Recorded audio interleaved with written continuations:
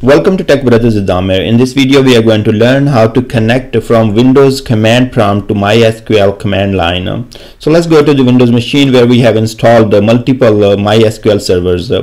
So if you have done a default installation, uh, what, what is going to happen, you're going to go to C drive and that's where you will be going to the program files and in program file you will find MySQL. And my, in MySQL you will find MySQL Server 8.0 here as I have done 8.0 installation. If you have done 5.7 you will see 5.7 here.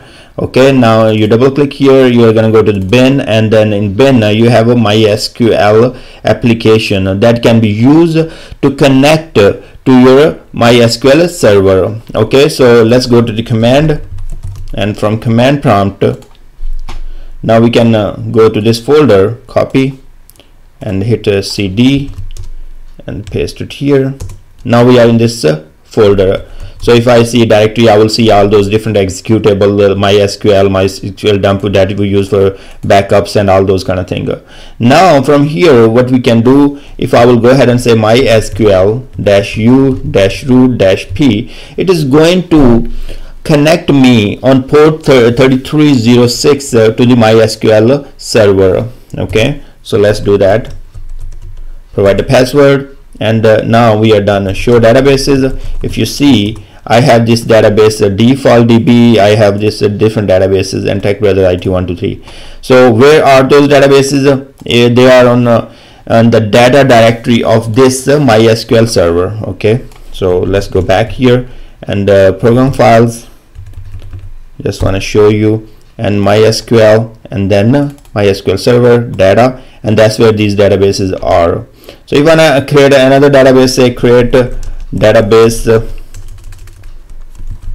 uh, cmd test okay default. Okay so you can see that a new folder will be created when you will create a new database. Great. But as I have uh, uh, multiple uh, MySQL is installed on this machine so if you go to services you can see that I have uh, three MySQL servers installed. So I have a MySQL 80 that's what we are connected that's the default what we did and MySQL dev is uh, manually I installed the second MySQL server and then QS is the third one. So if we would like to connect to the MySQL dev how we would do that? So first of all you need to know which port it is running. So you will go to properties and then you will find the myini file. So it is on a c mysql dot uh, mysql ini you can just copy this folder. Let me see this uh, we copy from here. And uh, paste and uh, here is a MySQL uh, INI file. So if you go back further down there and you see the client and uh, you see that port is a 3307 okay MySQLd is uh, also listening uh, on 3307 so what we have to do if I want to connect to this server uh, MySQL server I have to use port 3307 in last time uh, when we opened the command line we didn't provide any port uh, because that's a default port uh, and 3306 uh, and it took it. If I run the query I can show you right there. So I have a query that will show you which port that the server is listening.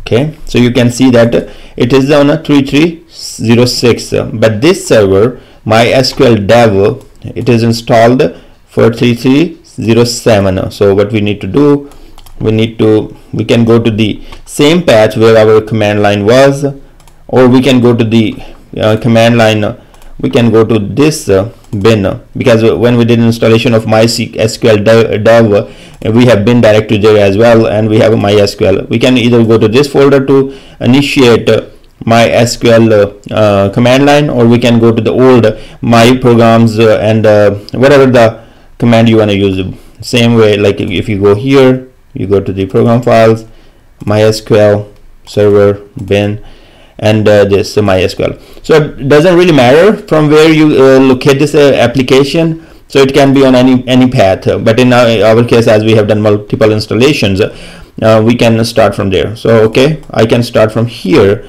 but I will connect to the MySQL dev because I will be providing the port. So I'm gonna go ahead and say cd okay.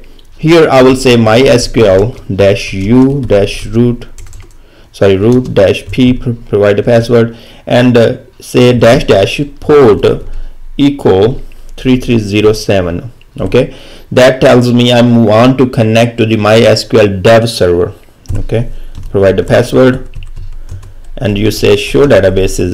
Now you will see different databases list. So you see the dev uh, database here and if you go to the other CMD we do not have any dev here. So they are connected with the different uh, MySQL servers.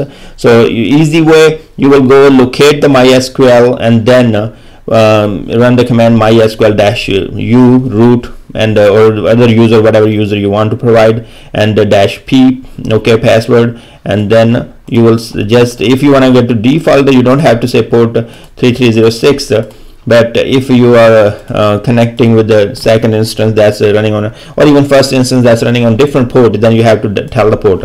So let's say if I will um, I will go exit from here now I want to connect to the default that's running on 3306 uh, but I can still say that the port so dash p dash dash port equal to 3306 provide the password show databases.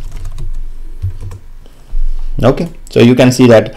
So this is a now you kind of clear here you are connected to the port 3306 so that's your uh, MySQL Server 80 and that's uh, port uh, 3307 that's your um, MySQL dev you can see from here.